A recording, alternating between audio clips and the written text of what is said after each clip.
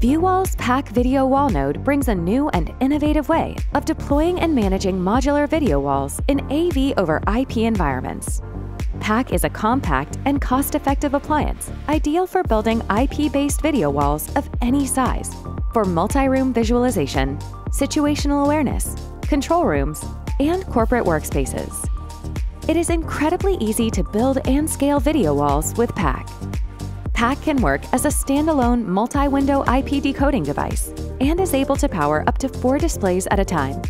To increase the size of the video wall, simply add more PAKs. By stitching multiple PAK units together, we create one logical surface that can mix content across the entire video wall. PAK is fully interoperable with VuWall's entire ecosystem of encoders, decoders, video wall controllers, and touch panels. And like all VuWall devices, PAK nodes are managed by TRx, the only centralized software platform that delivers advanced video wall management and AV distribution. Users can also benefit from TRx's Control Panel Designer to manage video walls from a fully customizable HTML-based control panel.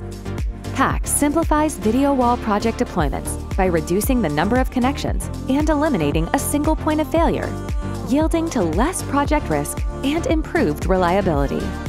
Its modular implementation ensures the ability to scale video walls to virtually any size increasing their processing power with every additional PAK. PAK is easy to manage and maintain, and offers an eco-friendly design with its small form factor and low power consumption.